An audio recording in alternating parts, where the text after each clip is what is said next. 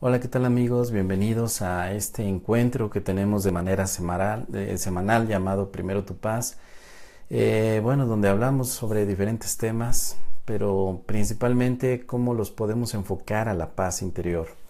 Eh, vivir la paz interior, una vez más, lo repetimos, no es un aspecto simplemente de teoría o de conceptos o de eh, comentarios la paz interior se vive en el momento que dejamos la guerra contra nosotros mismos, en el momento en que nos permitimos soltar absolutamente todas las ideas de conflicto, de guerra interior.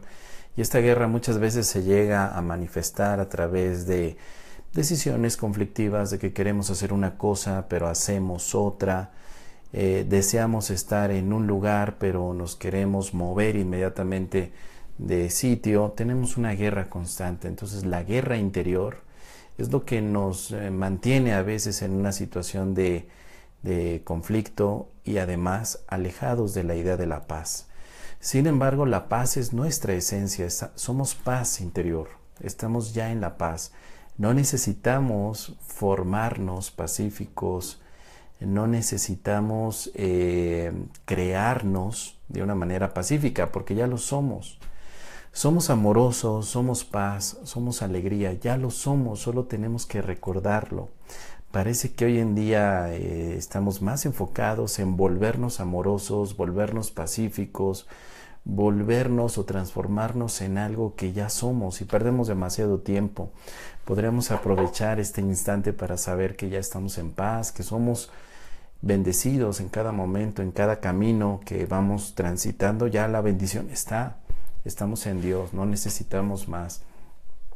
Hoy eh, me preguntaban en el chat que tenemos en Somos Primero Tu Paz, me preguntaban mucho cómo podemos inspirar a los demás a que vuelvan a tener esa, ese deseo de vivir, ese deseo de seguir caminando el camino, ¿Cómo lo podemos hacer? Sobre todo cuando vemos, todos hemos tenido la experiencia en algún momento de algún familiar, algún amigo, alguna pareja que parecen desmotivados, que ya no quieren estar eh, adelante, que parece que su vida es total indiferencia, que da igual a qué hora despierten y las actividades que hagan.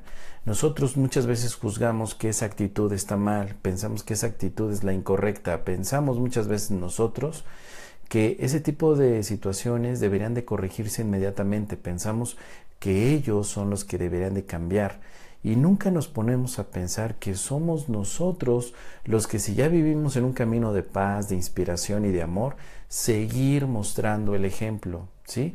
No tratando de cambiar a los demás, no tratando de que los demás necesariamente tengan la inspiración y sean de la noche a la mañana eh, ejemplos de vida y ejemplos de, de motivación y que se conviertan en coaches o en líderes. ¿Por qué no permitir que cada quien sea como quiera? Pero eso sí, tú que estás en este camino, tú que ya estás en este momento, en un despertar hacia la paz, pues ¿por qué no mejor la compartes? ¿Por qué no mejor desde tu visión pacífica comienzas entonces a extender la paz que hay en ti? Desde el amor que ya eres empieza a extender el amor. El amor no cambia a los demás, ¿sí? El amor no busca cambiar a los demás. El amor lo único que hace es activar la esencia de amor de todos. Eso es, es lo único que hacemos. Es que vivimos todavía en una idea falsa de que para salir adelante hay que cambiar, de que para vivir una vida hay que cambiar, pero ¿cambiar qué? Lo que tenemos que aceptar es el amor que ya tenemos. Eso sí, la aceptación no es el cambio. La aceptación es abrir los brazos y recibir a la vida que en este momento está sucediendo. Por eso es que esta charla tiene este, este momento, ¿sí? tiene esta indicación. Respeta el camino de los demás. Pero si tú ya estás en el camino de la paz, inspira a los demás a través de tu propia práctica cotidiana de bendiciones, de amor, de alegría, de perdón. Pero hazlo, tú. No necesitas convertir a los demás, no necesitas predicarles cómo deben de cambiar, no necesitas la predicación como una manera de transformación en los otros, necesitas el perdón y tus aplicaciones personales de tu práctica espiritual, sí, porque la luz que hay en ti inmediatamente toca la luz de los demás. No necesitamos hacer nada para que los demás cambien. Solo necesitamos nosotros permitirnos que la luz que hay dentro se, se, expanda a los demás. Y los demás tocan esa luz, la sienten. Se acercarán y te preguntarán entonces, ¿qué es lo que estás haciendo tú que estás tan en paz? ¿Qué es lo que eh, tú haces cotidianamente para vivir una vida en la que te sientes pleno, dichoso, en que te veo, que te diviertes, que gozas, que vives las situaciones. ¿Qué es lo que estás haciendo? ¿Sí? Entonces ya quiere decir que nuestra luz se extendió. Y tú, que aquí se cortó un poquito la transmisión, chicos, pero ya estamos de regreso. Espero que me vean, ¿sí? Así mismo es. Muy bien. Espero que me estén viendo, chicos, que me escuchen bien, porque estamos aquí haciendo la prueba con algunas de las eh, conexiones, con algo de un micrófono, un poquito más de luz para poder extender y que esto salga mejor. Entonces, lo único que necesitamos día a día es permitir que la paz que hay en nosotros se extienda, que sea la manera de tocar el corazón de los demás. Nosotros lo único que tenemos que hacer es aceptar, eso es todo, no hay necesidad de otra cosa, aceptar. La paz de los demás no depende de ti, pero tú puedes extender la paz a los demás. La paz de los otros no son responsabilidades que tú tengas que cargar todos los días. Tú no puedes ser responsable de la paz de tu esposo, ni de la paz de tu amigo, ni de la paz de tus hijos. La paz es de todos. Y cada quien tiene que ser responsable. Es como la respiración. La paz interior es como la respiración que todos los días vivimos. Tú no eres responsable de que los demás respiren. Cada quien tiene que hacerlo. Cada uno de nosotros necesita respirar adecuadamente y en los momentos que se necesita. La paz también. La paz es una responsabilidad personal. Cuando tú vives en paz, entonces puedes ayudar a los demás a recordarles que ellos tienen que estar en paz, pero tú no les das paz, tú no puedes dar paz eh, de una manera como un intercambio. Te doy paz, tú la recibes y entonces aquí la, la, la uso. No, no, no, tú extiendes la paz. Al dar esta extensión, al dar esta paz de una manera tan ilimitada, tú te despreocupas de hasta dónde llega. Los demás se ven beneficiados en el sentido de que ven que dentro de ti hay fe, hay confianza, porque la paz tiene este aspecto, la confianza. La confianza es uno de los puntos que se nota inmediatamente aquellas personas que tú notas que se sienten desmotivadas por vivir, eh, al verte a ti tan pacífico, al verte a ti tan, tan emocionado también por vivir, pues algo les mueve porque hay una conexión entre todos. Recuerda que la falsa ilusión es pensar que tú y yo estamos separados, ¿no? Y que los que están tristes y deprimidos e inanimados están separados de nosotros. Esa es la ilusión falsa que todos los días alimentamos. Ese hermano que vemos que tiene eh, poca inspiración para vivir, ese es parte de ti. Y lo que estás viendo en él es lo que tú quieres ver. El asunto no es de él. En este momento tenemos que entender que esos asuntos son nuestros y que él, él es una parte de mí en la que yo estoy proyectando la idea de que no estoy en paz. Entonces podemos jugar al juego de que aparentemente estoy pacífico y tú no, y tú tienes que hacer algo para cambiar la paz. Ese es un juego, pero más profundo tenemos que reconocer que Él es parte de mí, lo que yo estoy viendo en Él eh, es un aspecto mío que ahora estoy proyectando en, en Él porque no lo quiero ver en mí. la paz interior entonces simplemente se extiende hasta que llega un momento en que ya no juzgas a los demás si tienen o no tienen. Cuando tú te das cuenta que los demás son parte de ti, dejarás de juzgar entonces si están inspirados o no, dejarás de juzgar si necesitan perdonar o no, dejarás de juzgar que tengan que hacer una práctica espiritual como la meditación, como un camino muy particular para poder quitarse tanto rollo mental. Dejarás de juzgar eso, porque lo que ves en ellos es parte tuyo, entonces eh, seguirás trabajando, trabajando en tu en tu interior para seguir reforzando que tú eres paz. Que la paz interior está en ti, en ti y solo en ti, no está en los demás. Ahora, pasa también el asunto que tú estás en paz, ves un hermano triste y entonces la tristeza inmediatamente la vives. Bueno, pues estamos confundidos entonces todavía porque pensamos que el hermano es el hermano y que él tiene poder sobre tus cambios emocionales. Nadie tiene poder sobre tu emoción. Tú, eh, tú decides estar feliz, decides estar alegre, decides estar triste. No hay nadie en este mundo que te pueda cambiar tu estado emocional más que tú. No hay nadie que te ponga triste. No existe nadie en este mundo que te pueda deprimir. Todo eso te lo haces tú porque para ti sigue siendo valioso, sigue siendo tan valioso estar triste, molesto, enojado, separado, eh, humillado, sigue siendo tan importante que lo colocas como una de tus áreas de atención. Pero si solamente fuera importante tu paz, créeme que todos los demás valores se quitan. La tristeza es un valor, la depresión es un valor, la muerte es un valor, el debate, el conflicto, perdón, el debate no, pero el conflicto es un valor. Y estos valores, si siguen siendo tan importantes en tu vida, entonces compiten con el valor de la paz. Por eso primero tu paz y después lo demás es primero lo más importante en tu vida, la paz. Y cuando tú ves a un hermano que no tiene paz, deberás de preguntarte entonces qué valor es más importante ahí en esa percepción.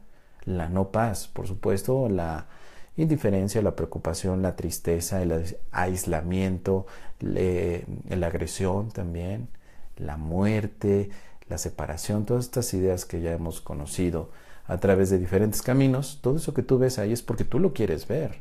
Ahora ya estamos hablando de, la responsabilidad de lo que tú ves, ¿sí? Todo lo que estás viendo en el mundo es una decisión tuya. Por lo tanto, nadie te está haciendo nada a ti, nadie te puede quitar la paz y por lo tanto tú tampoco le quitas la paz a nadie. Solamente tú puedes sentirte separado de la paz en el momento que comienzas a juzgar a todo. Y el juicio aquí es comparar comparar un estado con otro, comparar una vivencia con otra, comparar un tiempo pasado con un tiempo presente, comparar. La comparación nos aleja de la paz. Si tú quieres estar en paz, deja de comparar. Deja de comparar tu vida, deja de comparar la vida de los demás, deja de comparar tu dinero, deja de comparar tu pareja, deja de comparar tu salud, deja de comparar tu cuerpo. El conflicto principal, la tristeza y la depresión, tienen como origen la comparación. Sin comparación hay amor. Sin comparación hay paz. Sin comparación, por supuesto, hay perdón. El perdón es un pensamiento de equidad entre tú y yo. Tú y yo somos iguales, sí. Pero cuando hay comparación, tú y yo no somos iguales y entonces uno está por encima del otro y hay dolor, hay sufrimiento. Es muy fácil vivir en paz. La verdad es que eh, conforme comparto estos pensamientos, comparto esta vivencia, siempre eh, eh, me voy dando cuenta de la facilidad con la que podemos vivir en paz y con la dificultad en la que nos encontramos día a día pensando que la paz es imposible. Primero tu paz y después lo demás es lo que me ha llevado a recordar que la paz es fácil siempre y cuando sea lo más valioso en mi vida si no es importante en tu vida la paz, y hay que ser honestos, entonces, ¿qué es más importante? ¿Sufrir por el pasado? ¿Seguir recriminando todo, todo lo que viviste en tu pasado? ¿Seguir dañándote con una serie de aspectos de lo que pudiste o no pudiste hacer? Si eso es tan importante en tu vida, pues entonces la paz, ¿dónde está? Claro, obviamente preguntarás, ¿dónde está mi paz? quién se la llevó y nadie se llevó tu paz. Está ahí mismo, solamente que tú no la ves, porque estás viendo lo que quieres ver. Conflicto, depresión, guerra, enfermedad, eh, separación. En pocas palabras, miedo. No hay nadie que tenga paz y que tenga miedo al mismo tiempo. No hay nadie que se sienta vivo y muerto al mismo tiempo. No hay nadie que se sienta expansivo y contraído al mismo tiempo. Eso no existe tenemos que tomar una postura y no es una postura de este momento, es una postura para toda la vida. O estamos en paz o no. La paz no es cosa de que de 9 de la mañana a 10 de la mañana hago mi meditación, hago yoga, hago tai chi, hago algún tipo de, de práctica espiritual y estoy en paz, pero de 10 de la mañana a 12 del día ya no estoy en paz porque tengo que trabajar, tengo personas con las cuales tengo que eh, ser fuerte, tener un aspecto distinto. Eso, no es, eso es una hipocresía, ¿no? Y vivimos hipócritamente. Nuestros días se han convertido en una falacia.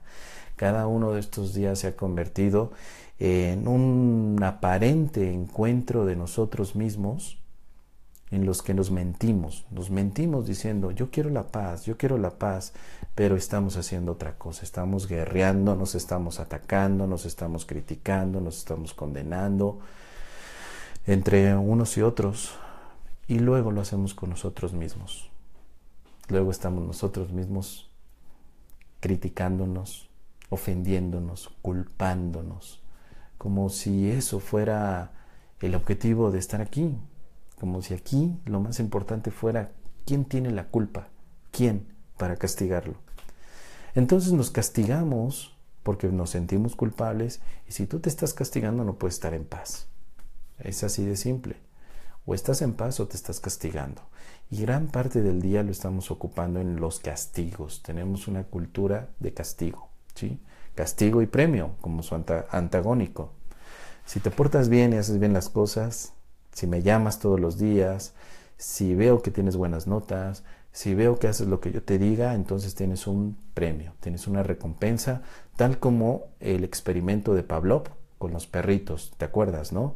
La psicología conductual. Si tú haces algo bueno, reforzamos el, el comportamiento a través de una recompensa.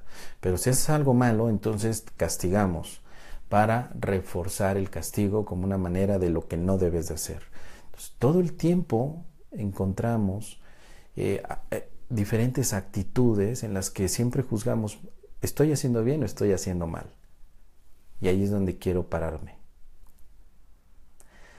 Hoy en nuestras prácticas espirituales estamos con esta misma idea y por eso no podemos ser felices, porque todo lo seguimos filtrando con ¿lo estaré haciendo bien o lo estoy haciendo mal? ¿Sabes para qué preguntas eso? para castigarte o para eh, recompensarte. Para eso lo haces. Esa pregunta jamás debería de hacerse en una práctica espiritual. Ya sé que tú seas un meditador, nunca deberías de preguntarte si lo estás haciendo bien o lo estás haciendo mal. Solo hacerlo. Ya sea que tú seas un practicante del perdón, nunca deberías de preguntar si lo haces bien o mal. Solamente perdonar. Porque estamos todavía con la idea de que si lo hago bien, entonces voy a tener mi premio. ¿Y cómo podrías tú saber que estás haciendo bien tu práctica o cómo podrías saber que estás haciendo mal tu práctica espiritual cuando el entorno de la espiritualidad verdadera no puede tener un juicio? Fíjate, por un lado tú dices, no hay que juzgar, pero te juzgas a ti cuando te preguntas si estás haciendo bien o mal tu práctica espiritual. Es incoherente y por eso hay conflicto interior. Si tú vas a meditar, pues meditas, punto, pero nunca te preguntes, lo estoy haciendo bien o lo estoy haciendo mal, porque vas a caer entonces, igual que yo, en la tentación de que si lo estoy haciendo mal, me voy a culpar, me voy a castigar, y en vez de salir adelante con mi práctica espiritual, la detengo. Y por otro lado, si pienso que lo estoy haciendo bien, entonces también me voy a letargar. Muchos de nosotros cuando sienten que han logrado un proceso muy amplio de expansión y de perdón y que por eso viven en paz, pues inmediatamente tenemos la idea de que lo estoy haciendo tan bien que me puedo poner a descansar, a relajar, total, todo está muy bien.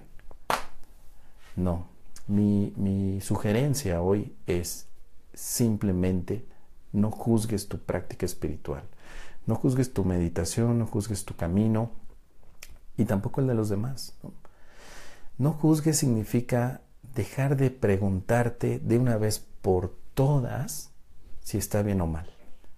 ¿Por qué no mejor preguntas se hace o no se hace? Punto.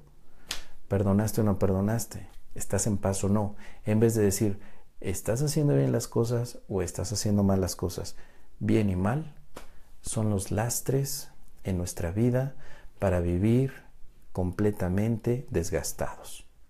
Si tú estás agotado hoy a estas horas de la noche, es porque todo tu día lo viviste entre bien y mal, haciendo cosas bien, haciendo cosas mal y un choque completo. La vida no se trata de cosas buenas y malas. Ese es un error. Eso lo he descubierto a través de la paz interior. La vida no está seccionada en las cosas buenas positivas y en las cosas malas negativas. Eso es una falacia. pero todavía se enseña. Se enseña mucho en muchos campos de, la filosofía, de la religión, de la ética, en los, en los campos también de la espiritualidad se enseña que es positivo bueno, negativo malo. Y partes tu vida en dos. Así que tu vida en dos te lleva a que tu mente se parta en dos y trate de propiciar lo positivo y evitar lo negativo. ¿Y sabes qué pasa con eso? Te cansas, te agotas. Es cansadísimo. Y quien está cansado no está en paz. El que está cansado está cansado. No está en paz. Está cansado. La paz es justo en el momento que decides descansar. El descanso completo, mental, el descanso emocional, el descanso de juicios es la paz interior. Si nosotros dejamos de juzgar a nuestros hermanos, si dejamos de estarnos preocupando de manera innecesaria en cómo ayudarles, si mejor nos ayudamos a nosotros mismos dejando de juzgar, entonces vamos a extender ese no juicio a los demás. La mejor ayuda que le puedes dar a tu hijo, a tu pareja, a tu padre, a tu amigo, al sacerdote, al político, ¿sabes cuál es? Dejar de juzgarte a ti mismo como bueno o malo simplemente aceptando lo que hay en ti. ¿Qué es lo que hay en ti? Ni lo bueno ni lo malo. Para la paz interior no hay esta división entre la luz y la oscuridad. No. Lo siento. Para la paz interior solamente hay una sola cosa, no dos. Si tú quieres abrazar lo malo y quieres abrazar lo bueno, todavía estamos en una confusión. ¿sí? Aceptar lo malo y lo bueno todavía es una confusión. Simplemente acepta lo que es, pero no lo dividas como malo bueno y que lo quieras aceptar porque entonces te vas a sentir todavía separado de ti porque tu mente trata de atender una y otra cosa, ¿sí? Entonces la corrección que puedes hacer junto conmigo es simplemente a partir de ahora lo que pasa en la vida no es ni malo ni bueno, simplemente es lo que es. A partir de ahora lo que tengo aquí alrededor no es ni positivo ni negativo, no es mucho ni poco, simplemente es lo que es. Punto. La gente que está conmigo es la gente que tiene que estar, ni más ni menos. Porque si tú dices, bueno, tengo poca gente, pero esa poca gente que tengo es muy valiosa y son mis amigos, te estás engañando. Y eso no te va a dar paz. Eso te da otro tipo de, de enfoque, ¿no? Te haría sentirte a lo mejor más eh, especial, más digno, ¿no? Más honrado de que pocos, pero de calidad. No, ese es otro engaño. Pocos de calidad es el mismo engaño de muchos, muchos, pero sin calidad. Es lo mismo. La paz, mira, la paz interior no es dualista, es decir, no tiene contrapartes. No podemos decir que estamos en paz interior si también veo la guerra, ¿sí? Si digo, ah, está la guerra, pero yo estoy en paz, entonces no estoy en paz. Ver guerra es salirse del aspecto de la paz o tratar de salirse para tratar de validar lo que es lo que estoy viendo, ¿no? Ese, ese estado de guerra y además es distraerme, porque la guerra no está afuera, está dentro de mí. La guerra entre los contrarios, entre los signos, ¿no? El positivo y el negativo. Todos tenemos esta tendencia, todos tenemos esta tentación de catalogar todo lo que llega a nuestra vida como bueno y malo, bueno y malo, bueno y malo, todos. Entonces es obvio que tarde o temprano lo que ocurre es de que cuando queremos vivir la paz, pensamos que para vivir la paz tenemos que dejar las cosas buenas en tu vida, pero nunca sabes si las cosas buenas en tu vida están bien catalogadas en tu mente. Tal vez te equivocaste, como yo me equivoqué. Tantas cosas buenas que yo decía, esto es buenísimo para mí. Y después me di cuenta, no, eso era un veneno. Entonces no, no sabes ni tú ni yo lo que es bueno en tu, en tu vida. Pero la vida misma, al ser parte del amor y ser parte de ti, simplemente está aquí para aceptarse tal como es, ¿sí? Acepta la vida tal como es, acepta la gente como es, acéptala, no la cambies. Si están deprimidos, déjalos que estén deprimidos, déjalos. ¿Por qué la necesidad de meter la mano en sus cabezas y cambiarles y lavarles el cerebro para que estén en paz. ¿Por qué? Eso no es amar. Porque podremos decir eso, tú y yo. Es que los amo tanto que quiero que estén bien. No, eso no es amar, eso es controlar. Si tú amas a alguien, lo amas sin necesidad de cambiarlo. ¿sí? Lo puedes acompañar, por supuesto. Eh, padre, me, te acompaño a ti en este momento que estás triste, claro, pero yo no quiero que cambies tu tristeza, a menos que tú quieras. Si tú, papá, quieres cambiar la tristeza, perfecto, te puedo ayudar. Pero si tú no quieres cambiar la tristeza, dale con todo. Vamos, sufre, entra a todo eso que quieres hacer, hasta que te canses y te des cuenta que el sufrimiento, la tristeza y la separación no llevan a ninguna parte y la paz interior te lleva a todos lados. Pero para llegar a tener una claridad en la que podamos sentirnos tranquilos, sin la culpa de que por qué no lo ayudé, necesito yo entonces reconocer quién soy y soy la paz que no puede ser alterada. Si ya lo recuerdo, puedo ayudar entonces a mi papá, a mi mamá, a mi hermano a recordarlo. Pero si me acerco a sufrir con ellos, porque pienso que es la única manera de ayudarlos, pues tarde o temprano eh, quedo también en toda esta confusión. Vamos entonces a liberarnos de esta confusión, de esta idea. Respeta lo que estás observando como un punto de partida para recordar lo que hay en ti. Lo que tú estás observando no es algo externo. Así veas que tu mamá, tu abuelita está sufriendo, no es ella la que está sufriendo. Es una parte de ti. ¿sí? Y cuando nos damos a la tarea de ir a, ver a la abuelita para que ella cambie, y le zorrajamos los diferentes libros espirituales, videos en YouTube que hemos visto, documentales de TED que también vemos, y no sé cuánta otra cosa para que cambie, nos estamos distrayendo, ¿sí? Ahora ya es más importante que la abuelita cambie a que yo esté en paz. Y de hecho, es como hipotecar mi paz interior a los estados de ánimo de mi abuelita. Y eso, eso no nos va a ayudar a nadie. Porque tarde o temprano te vas a sentir triste de que tu abuelita no hace los cambios, porque tu abuelita te va a decir justo esto. Mi hijo, ya estoy muy vieja no me puedes cambiar. Ya estoy así, déjame en paz. pero ¿cómo abuelita? Yo tengo que ayudarte, tengo que ayudarte, tengo que cambiarte. Entonces, gastamos tiempo, demasiado tiempo en cambiar a los demás. Gastamos tanto tiempo en cambiar a los demás que podríamos mejor aprovecharlo en vivir en paz nosotros y que ellos sientan esa paz.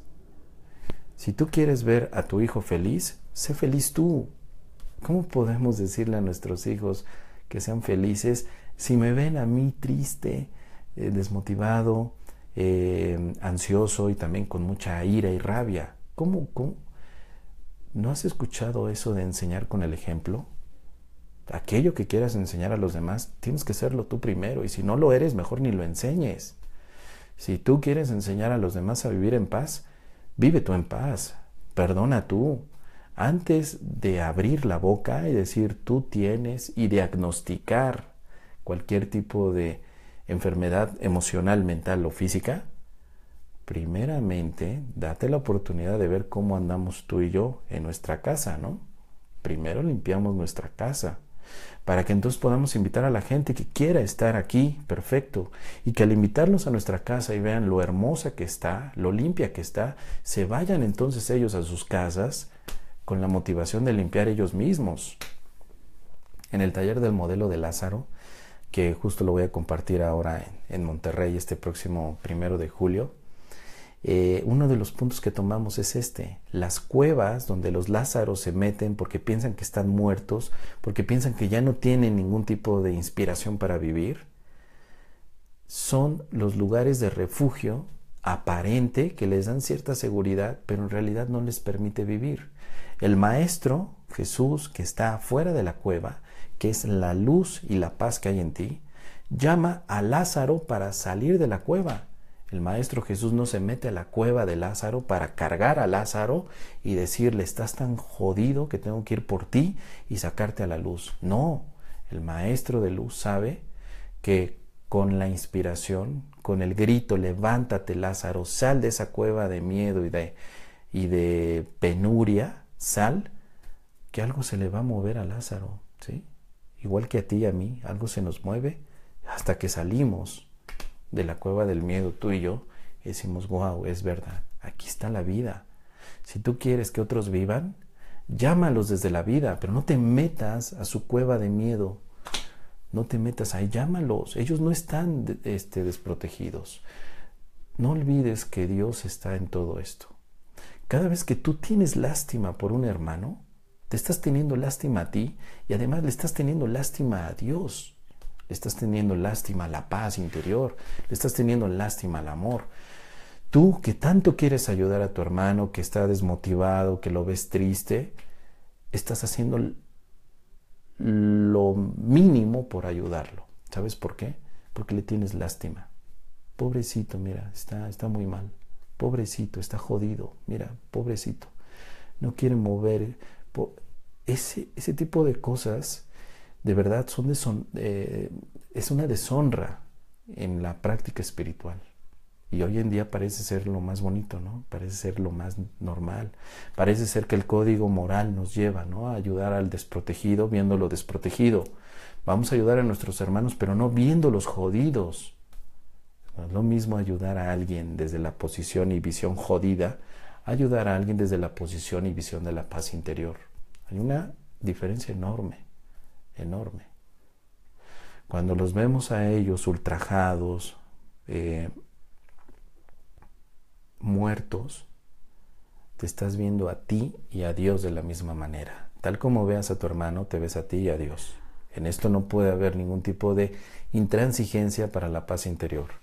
Si yo quiero ayudarte a ti, yo tengo que ver la paz que hay en ti. Aunque tú me des el speech, el discurso de que estás terriblemente afectado, terriblemente mal, aún así, yo tengo en este momento la responsabilidad de mantener mi paz para de, esa manera ver la paz que hay en ti.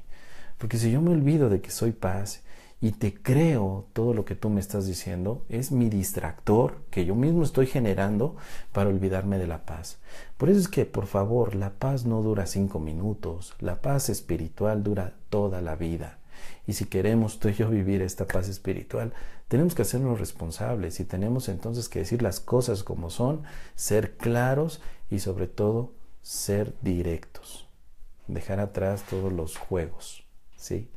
Y hoy en día hay demasiada, demasiada distracción, muchísima distracción en todo momento. Gracias aquí.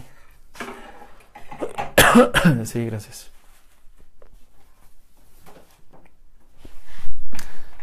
Ya me trajeron de té. Vamos a tomar un poquito de. Entonces, eh, cuánta paz infinita transmites, amoroso. Gracias, mi querida Adi. Gran enseñanza en tu mensaje. Gracias, gracias. Bueno, estábamos comentando esto porque de verdad hoy en día, hoy en día estamos más locos a veces que nunca antes, ¿no? Y desafortunadamente muchos caminos pseudo espirituales como las pseudociencias y como la pseudo vida nos está llevando a hacer más difícil lo que en realidad es muy simple. Es, sentido común también. La paz interior es puro sentido común, es lógica espiritual. Lógica donde ocupas tu mente, pero de una manera eh, clara y congruente. ¿no? La paz interior es congruencia, por supuesto que sí, hay que ser congruentes. Entonces, si somos congruentes, tenemos que ser honestos. Y si somos honestos, entonces nos ayudamos, respiramos nosotros mismos y luego inspiramos a los demás a que respiren pero tú no te pones a respirar por ellos, no. Tú necesitas, al igual que yo, siempre ser responsable con la paz. La paz que hay en ti es responsabilidad tuya. Y una vez que la has logrado, reconoces que esa paz es un regalo maravilloso de Dios. Dios te la dio a ti. Pero tú y yo tenemos que usarla. Y la manera de usar la paz interior es justo en este momento cuando vemos que nuestros hermanos están haciendo peticiones de ayuda. La petición de ayuda, una vez más, no significa meterte en el aspecto, o perdón, salirte de la paz. Eso no es ayuda, ¿eh? El que se sale de la paz ya no está ayudando. Necesita ayuda.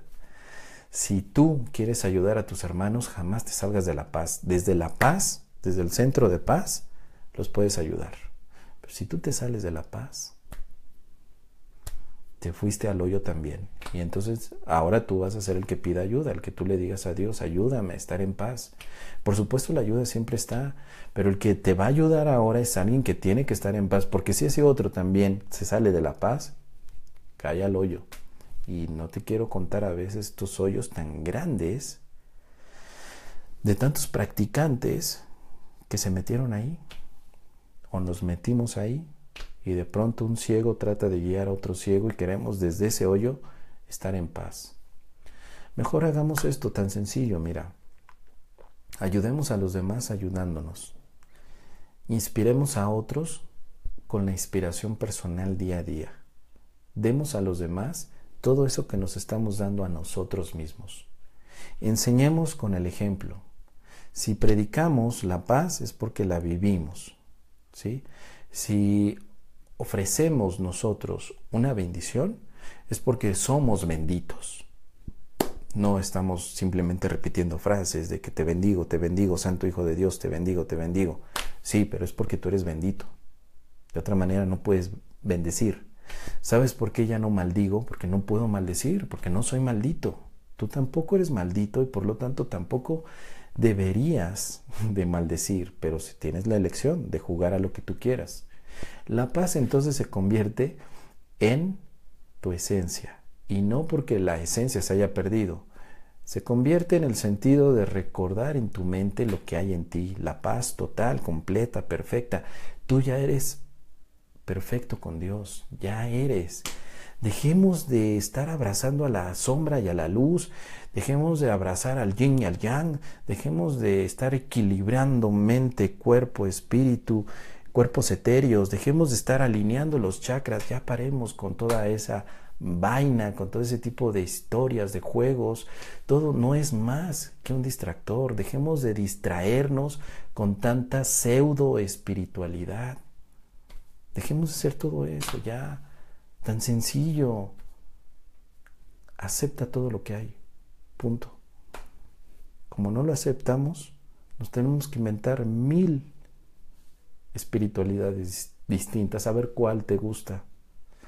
Y si no te gustaron los chakras, al rato te vas al Oponopono. Y si no te gustó el Oponopono, te brincas al curso de milagros. Y si no te gustó el curso, te vas con Luis Hay. Y si no te gustó biodecodificación, te brincas a los cristales. Y si no te gustaron los cristales, te brincas al chamanismo. Y si no te gusta el chamanismo, te brincas con los reptilianos. Qué perdedera de tiempo, ¿no? Y te pregunto, ¿cuándo estás en paz?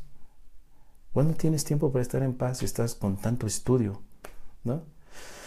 Una vez una, una amiga me decía, bueno, Mos, es que mira, me gusta el Internet, me gusta el, eh, lo que está sucediendo con, con, con, la espiritualidad de las redes sociales hoy en día, porque, pues mira, por la mañana veo las clases de fulano de tal a través de Facebook. Luego a las dos horas veo las clases de fulana de tal también por Facebook. Y luego en los canales de YouTube también te veo a ti y te veo otros facilitadores. Y luego en la tarde pues me conecto a la sala virtual fulano de tal donde veo a otros tres que, españoles buenísimos, ¿no? Y en la noche antes de dormir pues vuelvo a ver los videos de un facilitador español, chino o alemán. Y yo le decía, hermana, ¿y en qué momento practicas? Todo tu día te la pasas viendo clases no dudo que todos ellos son maravillosos. ¿En qué momento practicas? Porque todo el día lo tienes comprometido a estar estudiando. ¿A qué horas practicas? Porque la práctica no es ver este video, ¿eh? La práctica no es estar leyendo. La práctica no es eso, eso, eso es otra cosa. Sucede entonces que nos cargamos de mucha información tanta información que asusta. La mente se asusta de tanta información. Sigue metiendo información en tu mente para que entonces sigas distraído con lo que es simple, que es estar en paz. En ningún libro vas a encontrar la paz interior. En ningún facilitador, en ningún conferencista, en ningún coach vas a encontrar la paz interior. Eso eh, depende de ti, es tu responsabilidad. Es tuya nada más. No es mía, ni de nadie más. Esto, esto te pertenece a ti, ¿sí? Y tú decides también, ya, ya sabes cómo ocupar el tiempo, ¿no? Tú decides si le pones todos los minutos y segundos de este día a idolatrar algún coach, gurú, facilitador, terapeuta. ¿Quieres hacerlo ídolo? ¿Quieres seguir anhelando lo que él tiene? ¿Quieres seguir enamorado o enamorada de esa figura? ¿O quieres enamorarte de ti? ¿O quieres ya encontrarte a ti? ¿O quieres ya por fin ver al Maestro de paz que hay en ti? ¿Cuánto tiempo más seguirás distraído? Atendiendo el fuego de todas partes. Menos atendiendo tu ser. ¿Cuánto tiempo más? ¿Cuánto tiempo más vas a estar aquí perdiendo el tiempo? ¿Cuánto tiempo más? Ojalá que tú y yo nos tomemos ya eh, eh, el momento de vivirnos en paz, de que nos demos esta ya oportunidad, que luego se convierte en una vivencia día a día, ¿sí? No me interesa cambiarte a ti, no me interesa cambiar a nadie, no me interesa cambiar al mundo, ¿sí? Si tú decides practicar o no practicar, creo que eso es responsabilidad tuya. Cuentas conmigo siempre, por supuesto, desde el amor incondicional, desde la paz, todo esto te lo doy porque tú sigues siendo parte de mí. Pero yo no voy a entrar a tu casa a decirte todas las cosas que tienes que hacer para estar en paz. No, eso está dentro de ti y tú lo sabes.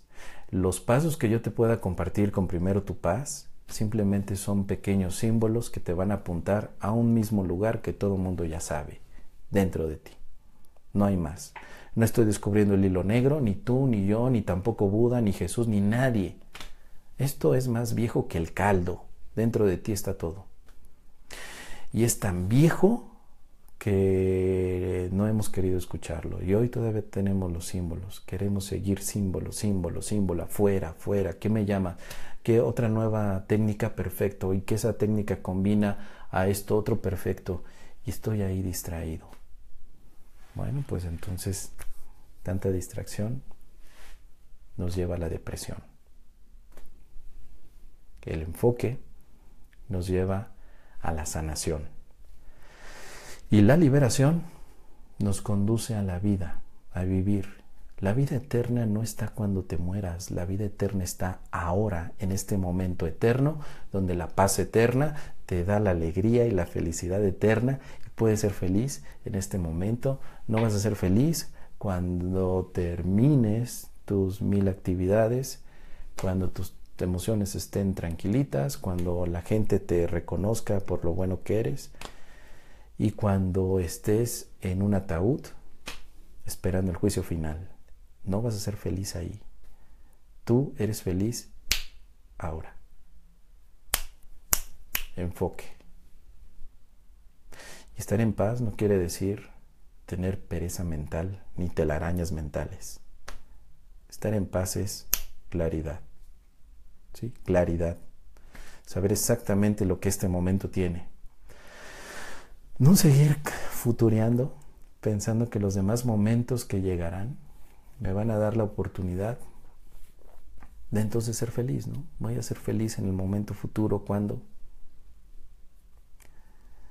esa es la ilusión más cara que pueda que podamos tener. El futuro es la ilusión más cara y la más inútil, el pasado dos ilusiones, es exactamente lo mismo, pero las he querido separar para darle dramatismo y ponerle crema a mis tacos. El futuro, la ilusión más cara, porque hay una promesa de que seré, seré feliz cuando tenga esto y aquello y lo demás. El pasado, la ilusión más inútil, porque sea lo que sea, ya pasó. Si fui feliz, ¿qué importa? Ya pasó. Si no fui feliz, pues ¿qué importa? Ya pasó, ya no está aquí. Esas dos ilusiones que son la misma situación no tienen ya sentido ahora. Tú eres nuevo en este momento. Este instante está renacido. Ahora. Deja de, seguirte cargando con tu historia personal de que yo soy el gordo que está aquí ahora en este momento y que ha tenido sus problemas de gordura durante miles y miles de años y que ahora, gracias al karma, a la generación X o a lo que sea, estoy mostrando aquí mi gordura. Eso es pasado. Y eso significa tampoco que ni tú y yo nos conocemos. En la paz interior, el aspecto físico es secundario, es lo demás. En la paz interior, cualquier situación mundana es lo demás, lo demás, lo demás, lo demás, lo demás. Mientras no tengamos tú y el enfoque a la paz interior como centro de vida, pues tú y yo seguimos eh, dando vueltas como moscas en la miel. Pero nunca nos dedicamos a poner atención en este momento, porque como moscas estamos todo el tiempo persiguiendo a los símbolos de miel, posándonos allí, pensando que vamos a poder recibir toda esa miel en ese momento, queriéndonos comer todo eso en este instante perdidos, completamente perdidos, desubicados, ¿no? Miles de libros, miles de talleres, miles de seminarios, miles de, de certificaciones, miles de palabras, miles de videos, miles de todo, menos el enfoque de este momento. Soy paz. Hagas lo que hagas, no me puedes quitar la paz. Soy paz. Haga lo que yo haga, no me puedo quitar la paz. Soy paz. Pase lo que pase en el mundo, soy paz. Sea lo que sea que le ocurra a este cuerpo, soy paz. No importa qué, soy paz. No importa para qué, soy paz. No importa cómo, soy paz. Simplifiquemos. Hagámoslo simple. La paz está en ti. Y al estar en ti, jamás se fue. Y no por decisión tuya, sino porque el autor de la paz, el creador de la paz, que no es ni tú ni yo, nos dio este regalo de estar en paz. ¿Sí? Es, es, es, es, tonto, perdón, es inútil que se te dé un regalo y no lo ocupes. Y que todavía tengas que hipotecar tu existencia física para conseguir el regalo que ya tienes tengas que estar gastando toda tu energía en conseguir dinero para estar en paz cuando la paz ya la tienes, que gastes toda tu energía, toda tu motivación día a día para conseguir la paz en una pareja cuando la paz ya la tienes, que sigas luchando constantemente para sanarte mentalmente de tantas equivocaciones y después de estar en paz cuando la paz ya la tienes, cuando ya está aquí, aquí, aquí. ¿Qué más tenemos que hacer? Nada. Solamente aceptar la paz. Es, eh, eh, es tan curioso que llegamos al final de, cualquier práctica espiritual, volteamos y decimos, es que nunca tuve que haber hecho nada. La paz siempre me acompañó. ¿Sí? Y ahora tú que ves este video, que estás eh, sintiendo que se te mueve algo, déjalo fluir. Deja entonces que la paz que esté en ti se, se mueva, ¿sí? Deja que esté allí y permítete recibirlo. Porque es así de simple, así, así. A menos que quieras irte por el otro camino, que también es respetable, ¿no? Si tú te quieres meter al lodo, si quieres estar en la guerra, si quieres hacerlo difícil, pues dale con todo. Yo desde aquí observaré, porque hay algo, algo que aprendí, que si tú te lo haces difícil, yo lo único que puedo hacer es bendecir y seguir viendo la simpleza de lo que es vivir en paz y de lo que es la vida. Y desde ahí decirte, ven, tú y yo, parte de mí, ven para acá. Aquí es la zona de la simpleza. Qué fácil es vivir. Qué fácil es vivir. No digo que estoy, eh, que, que estoy implicando qué fácil es vivir en este mundo. Estoy diciendo lo siguiente. Qué fácil es vivir. Eso es todo. Punto. Ahí termina la frase. Qué simple es estar en paz. Punto. Ahí termina la frase. Qué simple es eso. Qué grandioso. Qué mayor felicidad puede haber que saber que lo más hermoso de Dios está en mí. ¿Y cuántas veces al día me acuerdo de eso?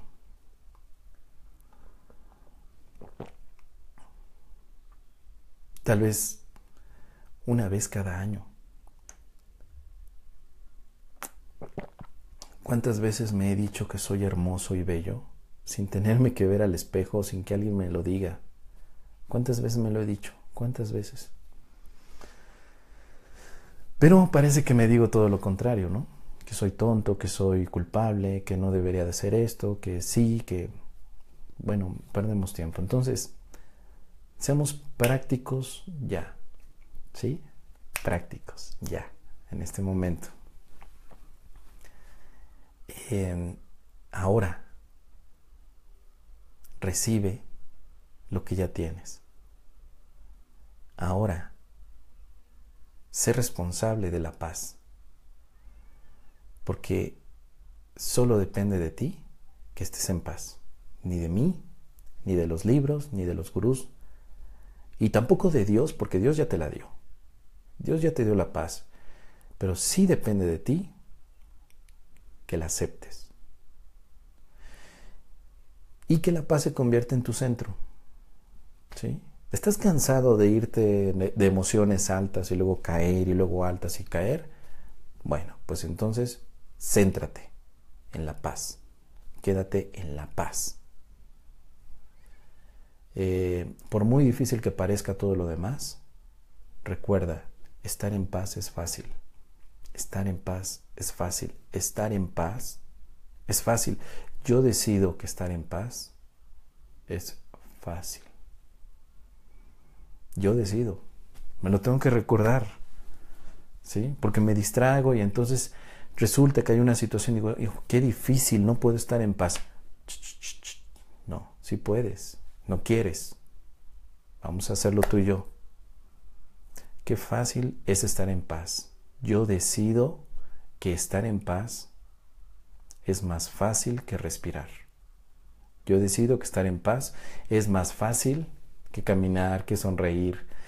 La cosa más fácil de tu vida, recuerda, estar en paz es todavía más fácil que eso. ¿Lo hacemos? En este momento que dure toda la eternidad. Bueno, si es así, entonces me acompañas, lo hacemos juntos y vamos a recordar siempre primero tu paz y después lo demás. Me voy para Argentina, ya la próxima semana estaré por allá. Gloria y yo estaremos haciendo algunas transmisiones los miércoles. Nos daremos la oportunidad para desde Argentina, desde Santa Fe, desde Bahía Blanca, desde Mar del Plata, no sé dónde andemos. Desde allá nos vamos a conectar y vamos a hacer algún tipo de transmisión así, contándoles cómo va toda la gira Primero Tu Paz, cómo vamos con los encuentros, qué tipo de experiencia estamos viviendo con nuestros hermanos.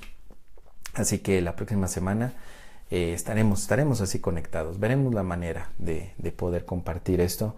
En Argentina haremos muchos videos también. En mi canal de YouTube estaré colgando videos de todo el viaje, desde, desde la salida del aeropuerto de la Ciudad de México, en mi caso, hasta llegar al final de la gira que será en Montevideo el 31 de julio.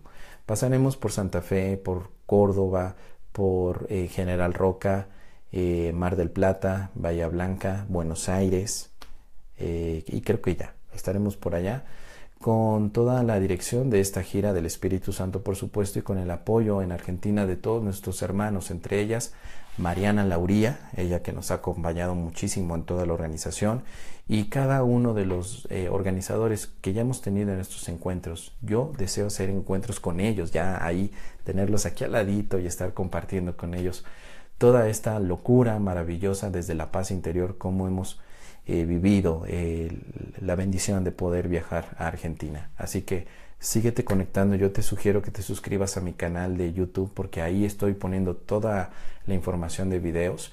Simplemente búscame en YouTube como Primera Atención, Primera Atención o un curso de milagros con MOZ, M-O-Z.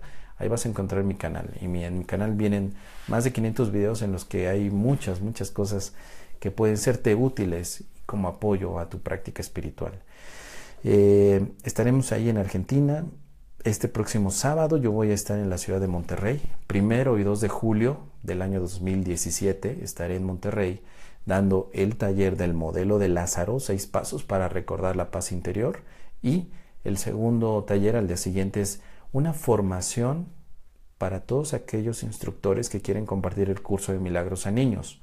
Vamos a hablar acerca de las fábulas de Corderito, de las dinámicas que podemos hacer dentro del manual para poder compartirlo a los niños y vamos a eh, enfocarnos en la manera de la creatividad desde el espíritu para hacer que los niños y preadolescentes puedan entonces sentirse inspirados por el estudio de un curso de milagros. Hace tiempo lo di en San Luis Potosí, fue una experiencia maravillosa, fue algo muy sanador. Eh, tuvimos más de 50 personas en esta formación y bueno, todas las experiencias que vivimos ahí fueron increíbles porque llegaron dos pequeños con los que pudimos trabajar todo esto, ¿no? Libro de un curso de milagros para niños tiene un material muy particular para poder compartirlo y extenderlo a ellos. Por supuesto es el mismo contenido de un curso de milagros, pero con un lenguaje para que los niños y preadolescentes lo puedan comprender. Así que si estás interesado eh, en estar en Monterrey este próximo 1 y 2 de julio, simplemente déjame un correo electrónico y yo te envío toda la información. O me escribes a mi correo electrónico mos Déjame tus comentarios aquí abajo en este, eh, pues en este video si quieres, compártelo, ¿eh? compártelo en todas tus redes sociales. Si crees que alguien le pueda ser de inspiración, de ayuda para algún problema que esté en este momento viviendo, pues compárteselo. Yo lo subo mañana a YouTube. En YouTube también va a estar ahí. Y si lo estás viendo en YouTube, bueno, no olvides dejar un like y compartirlo en todas tus redes sociales. Yo soy Moss. Primero tu paz y después lo demás. Gracias a todos. Y ya muy pronto Gloria y yo vamos a estar en la gira maravillosa de Argentina. Los esperamos por allá y más adelante les contaremos muchos planes más que hay para seguir extendiendo primero tu paz a todas, todas partes. Muy pronto, muy pronto más cosas. Chicos, bendiciones, descansen en Dios, descansen en paz. En este momento, sí, descansa en paz. No es para cuando te mueras, es este momento. Descansa en paz. Besos, bendiciones, paz y nos vemos pronto. Chao.